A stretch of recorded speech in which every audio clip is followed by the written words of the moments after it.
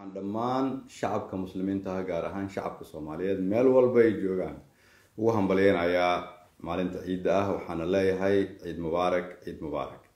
Ciiddani waxay ku soo aadeysaa iyadoo adduunyadu ay la daalaadhacayso sidii la isugu dayi lahaa in wax looga qabto cudurkan adduunyada aafeeyey ee loo yaqaano covid sagaal iyo iyadoo dowladda soomaaliyeed dhammaan hay'adahooda iyo shacabka soomaaliyeed meel walba ay joogaan ay isu gurmadeen si looga hortago cudurkaas.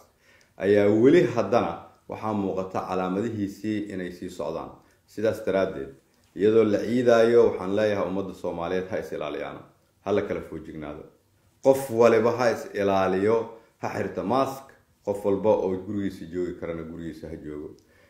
Waxaan halkan rabaa inaan ummadda soomaaliyeed hortooda uga mahad celiyo dadkii soomaaliyeed ee habeen iyo maalin taagnaa sidii dhibaatadan ay u soo bilaabatay waxaa ugu horreeya wasaaradda caafimaadka iyo dhakhaatiirta soomaaliyeed. Gaar ahaan dhakhaatiirta soomaaliyeed ee ku afurayay isbitaal martiini u taagnaa inay dad soomaaliyeed badbaadiyaan.